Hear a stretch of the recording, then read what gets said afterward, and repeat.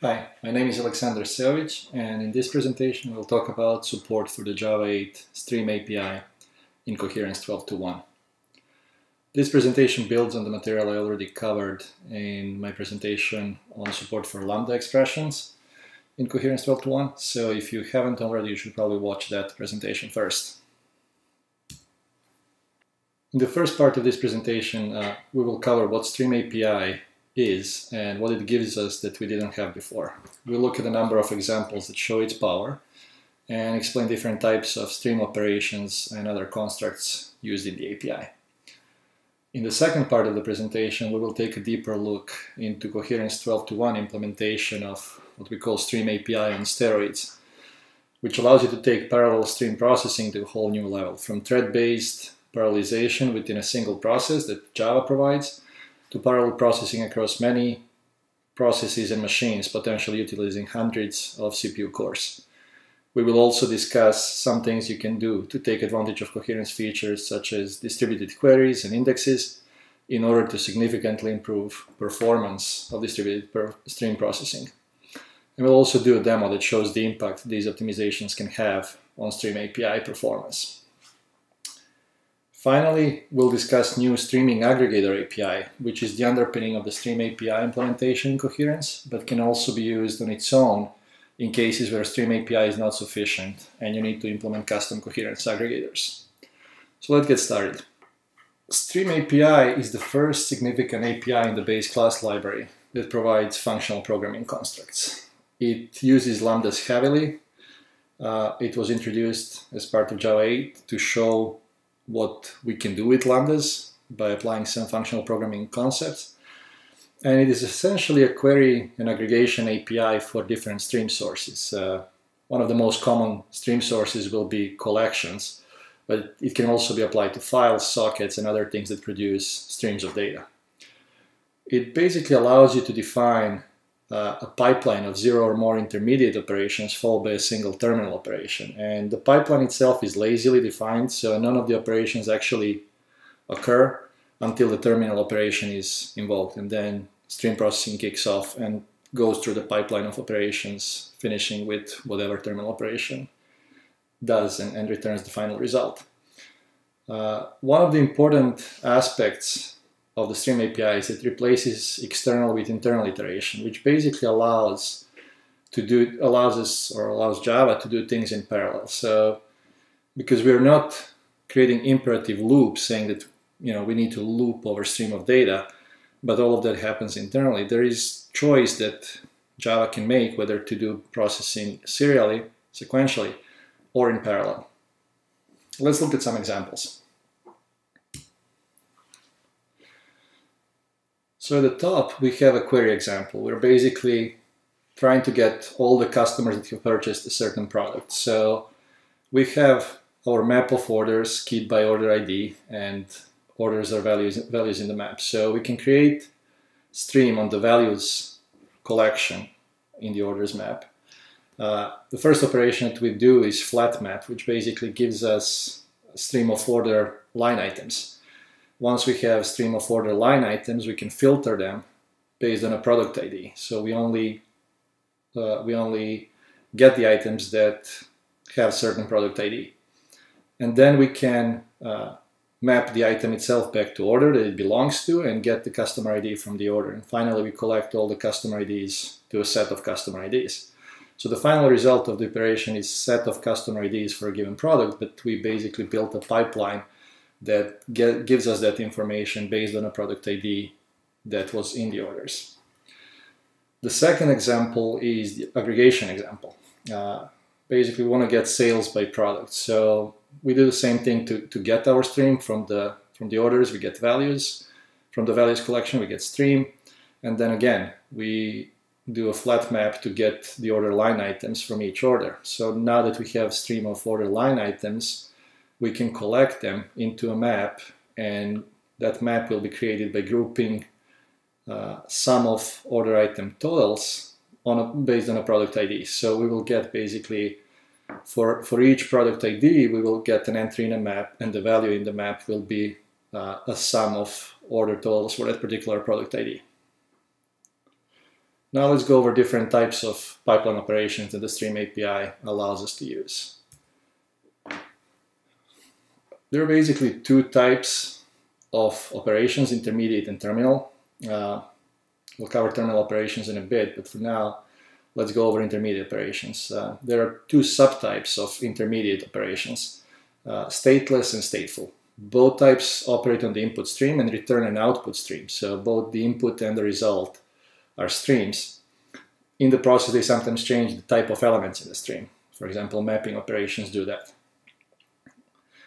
The difference between stateless and stateful operations is that the stateless operations can be applied to each element of the stream individually, which makes them very efficient. On the other hand, stateful operations must buffer stream elements internally in order to do their job, which makes them both less efficient and more resource intensive. The important consideration in a distributed environment such as coherence is that stateful operations effectively terminate parallel processing of the stream and cause the remaining stages of the pipeline to be processed on the client. For example, if you have limit 10 operation in the stream pipeline, we will collect 10 stream elements from each cluster member, send them to the client, and the client will then apply limit operation again and return only 10 elements.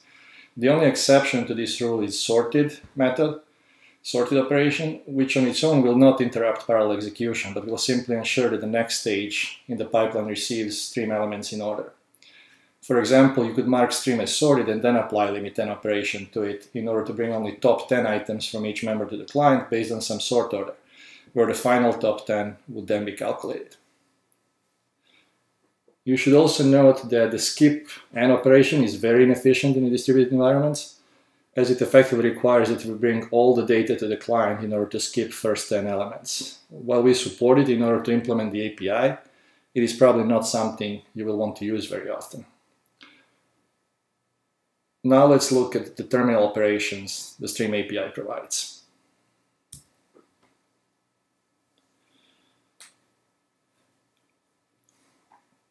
The terminal operations trigger the evaluation of the stream pipeline, and they include many common aggregations such as min, max, and count, matching operations such as any match, all match, and non-match, which return a boolean based on whether any, all, or none stream elements match the specified predicate. There are also finder methods such as find first and find any, which are typically used in conjunction with an intermediate filter operation. There is iterator operation for each, as well as general purpose reduce and collect operations. The collect operation also allows you to concatenate stream operations. For example, you could collect the results of a distributed stream processing against coherence into a set list or a map, and then create another local stream and define a new pipeline of operations on it and execute them on the client, possibly across multiple threads in parallel. In any case, collect is probably the most versatile operation that most of the other operations can be built on, so it deserves a bit deeper discussion.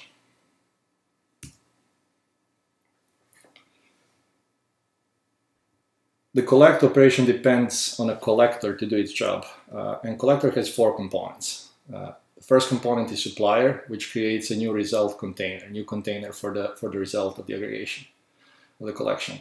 Uh, the second component is accumulator, which incorporates a single data element from the stream into a result container. Uh, then we have a combiner, which merges two partial result containers into one. And finally, we have a finisher, which performs final transformation of a result container. Finisher is optional and is typically used to further reduce the final result created by the combiner.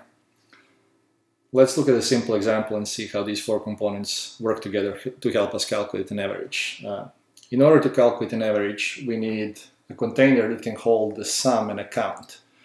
We're doing these things in parallel, so we cannot calculate average on each member and just return the average itself, we need to actually have a result container that, that holds both sum and account as a partial result.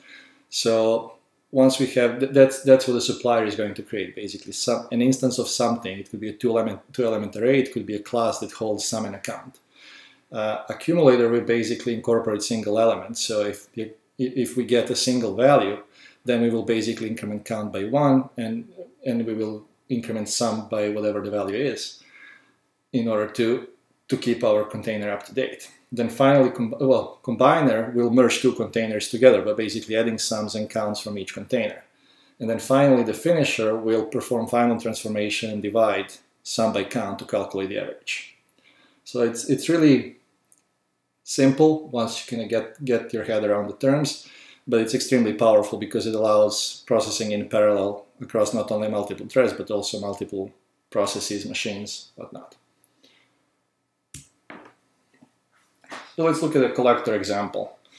Uh, you know, the, the collector I just described, the average is a fairly simple one, but they can be much more complex than that. And in some cases, they can even allow nesting of other collectors inside of them, as is the case with a grouping by collector.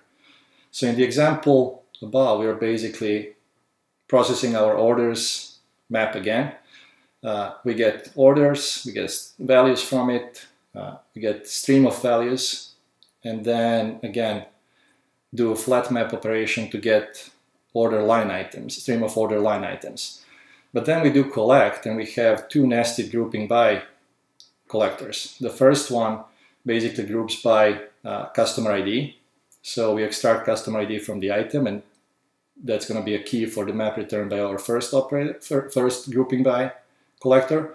But then the value is actually going to be another map created by another grouping by collector, which now groups by item name. So we're grouping by product name and the result in that map, the value in that map will be a sum of uh, prices. It's a total sum of all the of all products with that particular name for a given customer ID.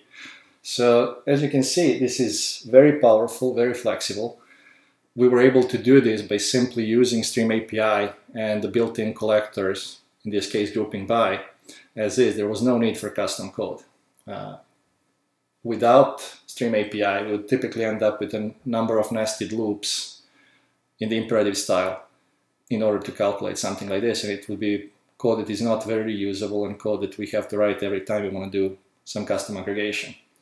This also reads much better than a bunch of nested loops. So it, it is definitely a nice API to use, very readable API, especially once you get, a hang of it. So let's see what collectors, I mean grouping by is one collector. Let's see what other collectors Java provides out of the box. As you can see, they're, they're most, you know, they're, they're usual suspects. They're, they're collectors that will basically give you an average. And we have three different versions. One that returns long, int, double.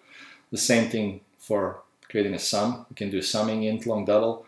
Summarizing int, long, and double are actually interesting. They're similar to the first two, but they actually do a lot more. Uh, one thing with, that, that's important about Stream API that you can only process stream once. So if you want to calculate multiple things, for example, if for a given set of numbers you want to calculate sum, count, average, min, and max, you would have to process the stream multiple times.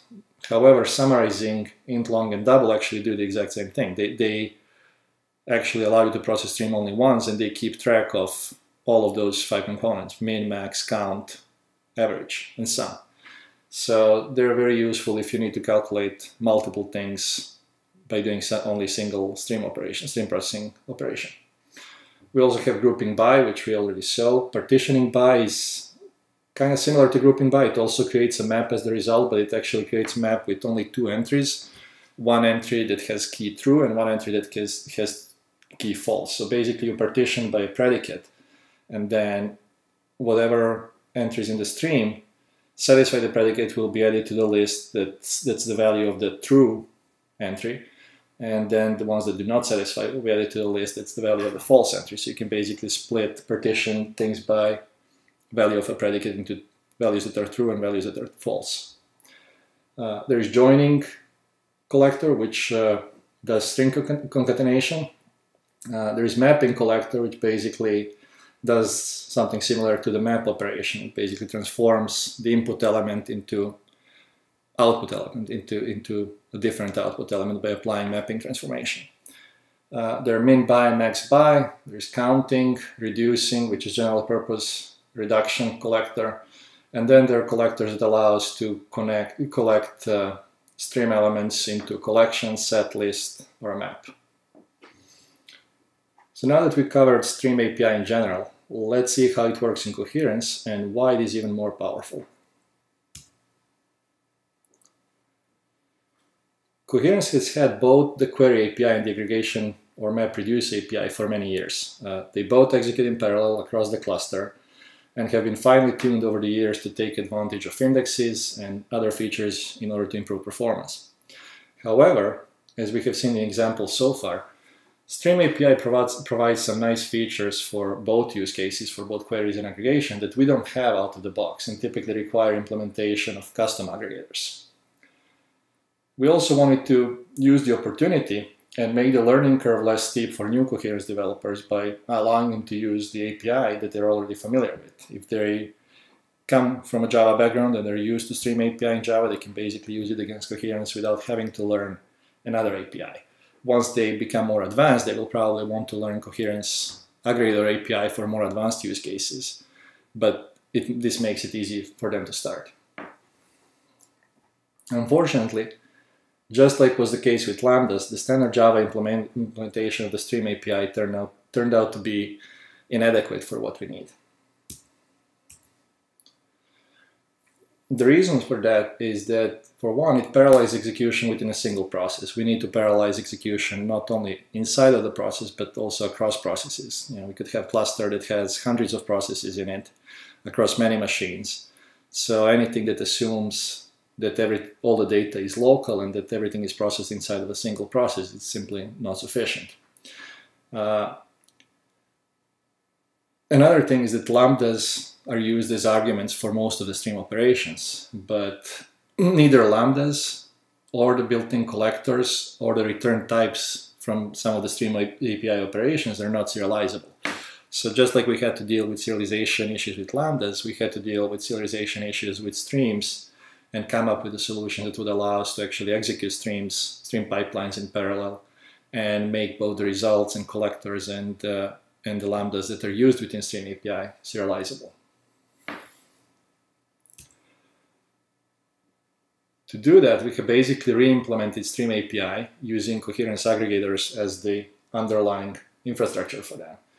Uh, we have added support for serialization of both partial and final results where necessary, so we can execute distributed stream pipelines. We have also implemented serializable versions of the standard JDK collectors. So as you can see in the example, we're doing the same operation we did earlier. Uh, well, actually, we're just getting orders for a customer here. So we're, we're getting value from the orders cache uh, we create, create, stream on the orders cache, we get value, which is the order from each entry. Uh, we filter orders by customer ID, and then we collect the order to satisfy the filter into a list. So we get a list of orders for a given customer. Uh, as you can see in the last statement, we are not using standard collectors that Java ships. We're using remote collectors helper class that has basically serializable version of the standard Java collectors. So we do remote collectors to list. Uh, this allows us to basically use the same Stream API Java developers are already familiar with uh, to process large data sets managed by Coherence in parallel across many processes, many machines, utilizing all of the available CPU cores. So it is actually much more powerful than what you get out of the box with, with Java Stream API. Uh, well, the remote stream itself extends standard stream interface and is pretty much interchangeable with it. The way you obtain the stream from a named cache is slightly different, as you can probably get from, from this example. Uh, and we do provide some additional features that allow you to optimize stream processing even further by utilizing features such as distributed queries and, and indexes. So let's, let's look at some examples that will pinpoint the difference between standard Java Stream API and the Coherence Stream API.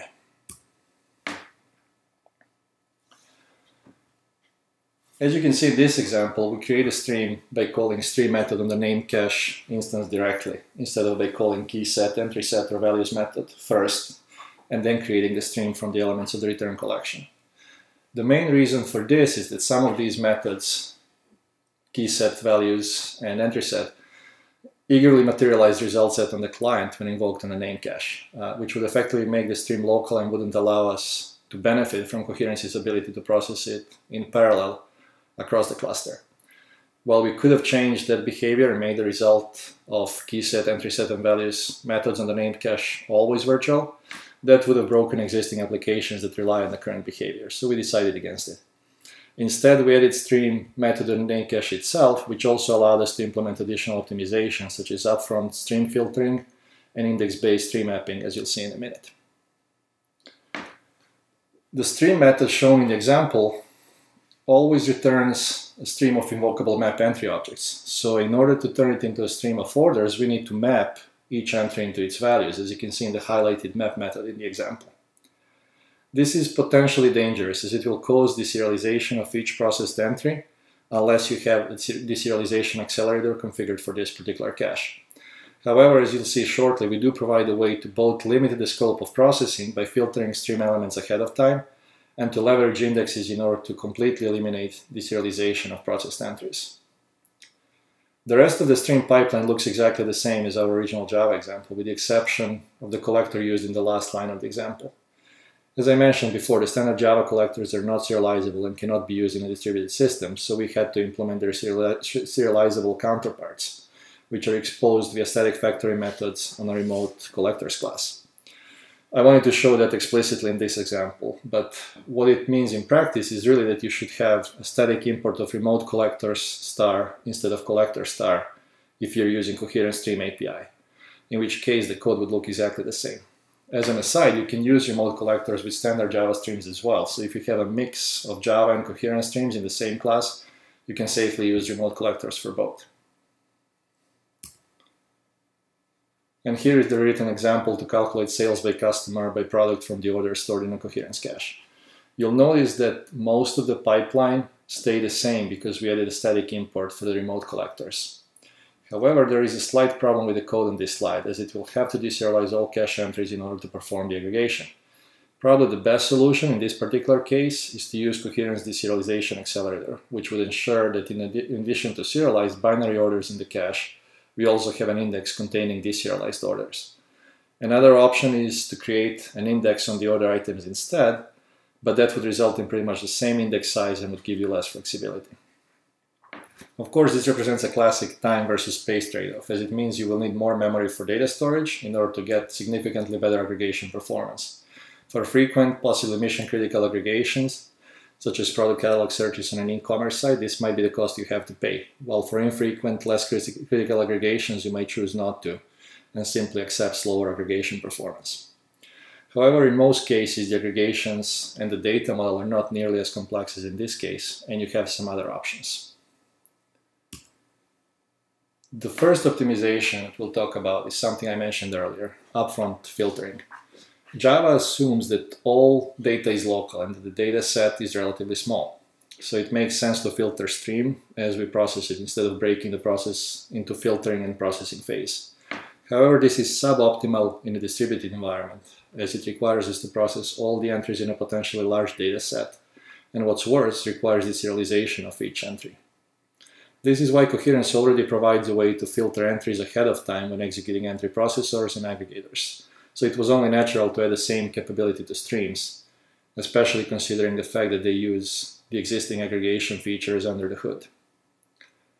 By specifying coherence filter as the argument to the stream method, as the example shows, you effectively reduce the scope of processing to a stream of entries that satisfy the specified filter.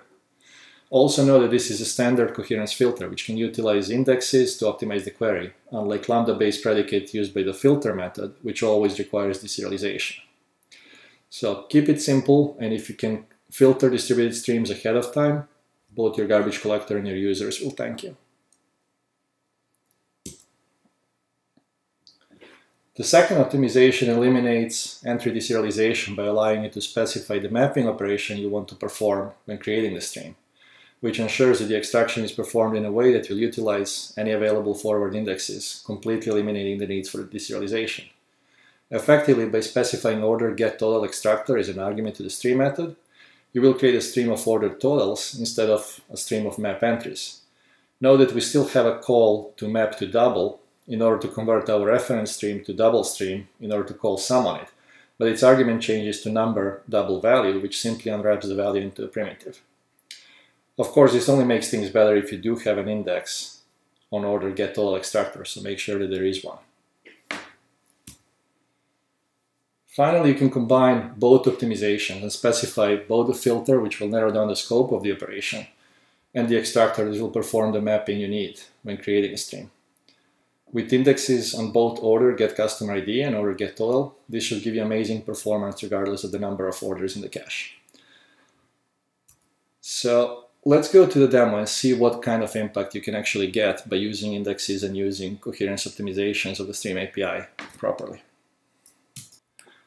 I have a simple class here, which is basically a JUnit test class, uh, that on startup will basically populate cache uh, with million orders. Uh, create will take create thousand orders per customer for thousand customers, and each order will have same five items in it because that's yeah what's what's in the order is not really relevant. So we'll end up with million orders that combined have five million line items in the cache and then we'll look at some operations that we saw examples of. So for example, we'll look at orders for customer, and then we'll look at optimized version of orders for customers. So the difference here is that in the orders for customers, we are doing the standard Java way, which basically requires that we call map entry get value on each entry.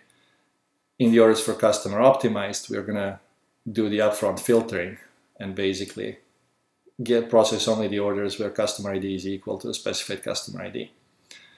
Similarly, for orders, order total for customers, we will do the standard Java way by basically doing both the mapping and the filtering inside the pipeline. And then order total for customer optimized, we will do the filtering upfront, we will do the extraction of order total upfront, and then basically just do map to double and sum inside of the stream. We also have some additional operations, including including our most complex use case, which is sales by customer by product. So let's see how this all works. So first, I will start, actually I already started two, two cache servers. so let's run the tests. And the first time we run, we basically have no indexes. So you we, will, we will do all these stream operations with no indexes and we will see what the performance is and then we will put the indexes on the caches and look at the look, look the impact that that change had on the performance. Uh, we'll also look, well, while this is all executing, we will look at uh, JVisual VM to see the impact indexes or the lack of indexes have on garbage generation and garbage collection activities. So let's kick off the first test and populate the caches. We're now populating cache and you, see, you can see that there is activity in JVisual VM, which is to be expected. Now we're actually running tests. And you can see by the spikes that we, are, we actually have quite a, quite a few garbage collections here. So basically what's happening is we are deserializing all million entries in order to process them. Right? So we'll let it finish and then we'll look at the results.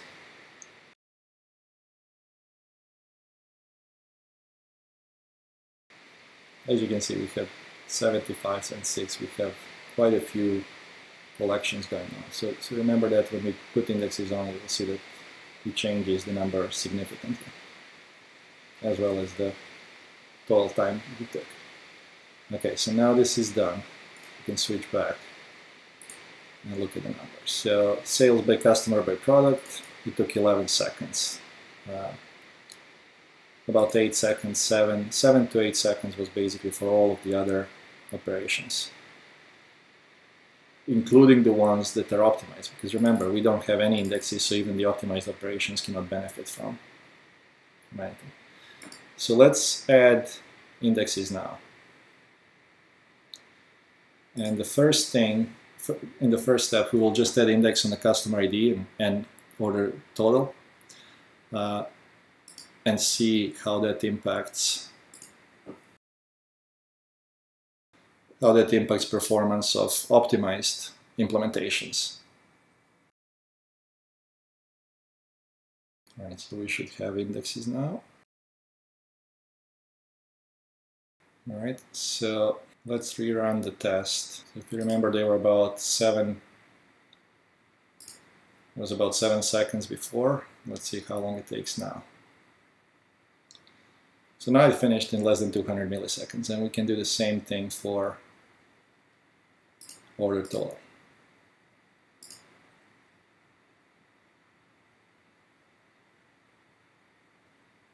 It took only 130 milliseconds. So you can see that the, the, performance of these operations, because now we have appropriate indexes, performance of these, these operations improved significantly. So let's add the other operations really cannot benefit from these indexes. So let's add the deserialization accelerator, which they can benefit from. And we'll see what happens then.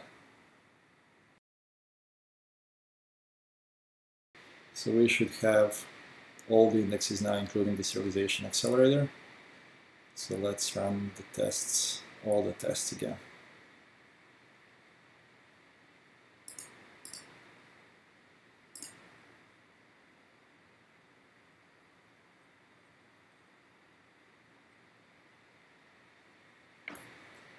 And we're done. And I forgot to switch to this, but you could see now, compared to 75 to 80 collections we had before, we basically had a single collection here. And we were able to finish the whole test much, much faster. So instead of 7 to 8 seconds that each operation took, we now have operations that take from 1.2 seconds all the way down to 46 milliseconds for the optimized uh, order total for customer. So as you can see, this has you know, adding indexes can have significant impact on stream performance and, and modifying your code to take advantage of coherence uh, optimizations that we added to the streams can have big impact as well. So if you compare order total for customer optimized, it is 46 milliseconds uh, compared to 243 milliseconds. So it's about seven to eight times faster.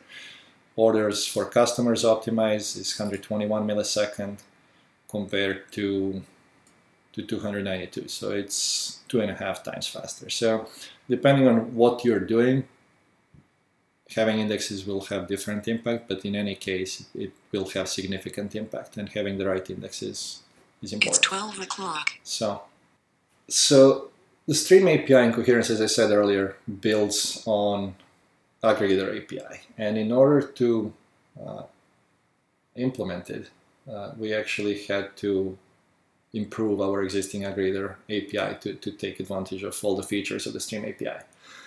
Uh, and what we did is basically we introduced a new streaming aggregator interface. Well, it's not directly related to the Stream API, it was basically both inspired by it and, as I said, necessary to implement some of the features of the Stream API, such as sequential processing and short circuiting, for example.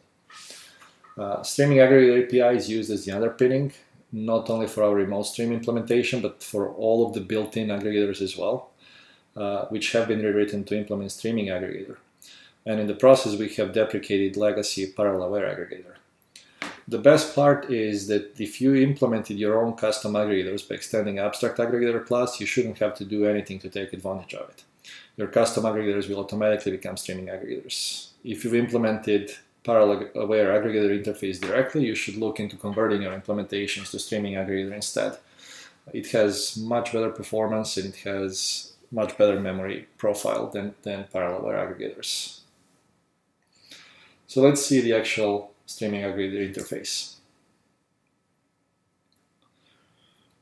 As you probably know, coherence aggregators have historically performed the result accumulation internally.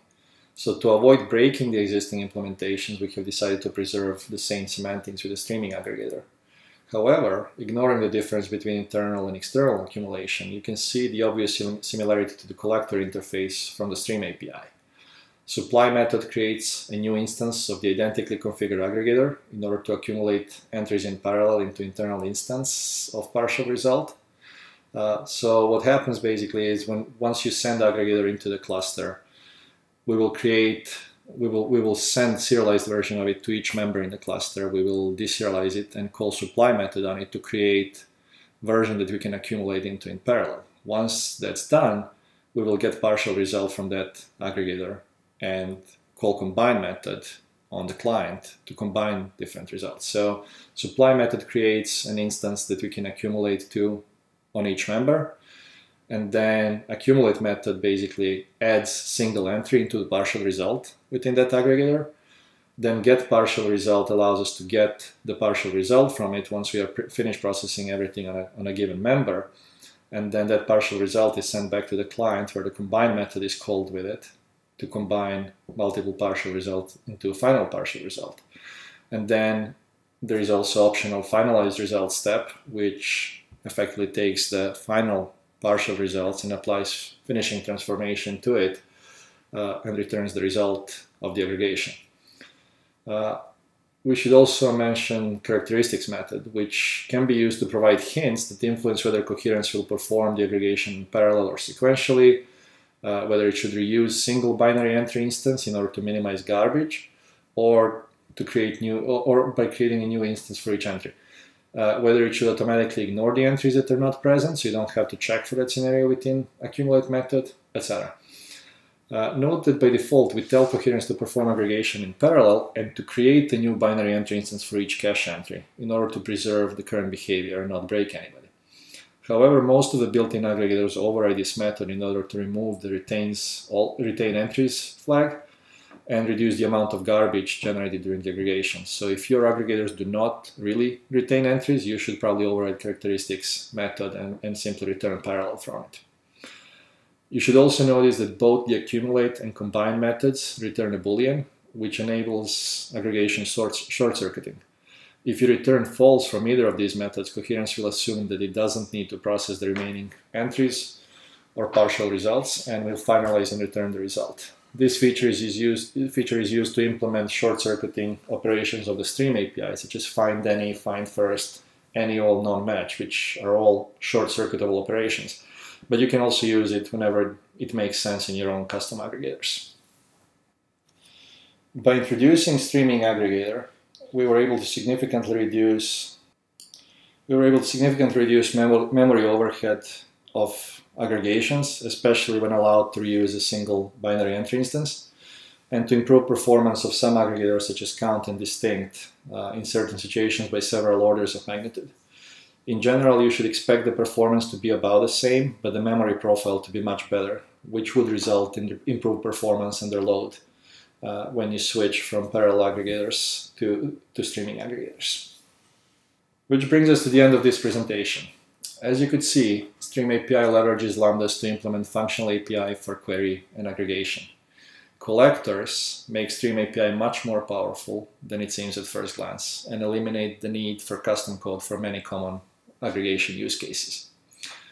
Coherence implements Remote Stream API, which takes parallel processing of data streams to a whole new level by basically moving from multiple threads in a single JVM to multiple processes across multiple machines across whole coherence cluster.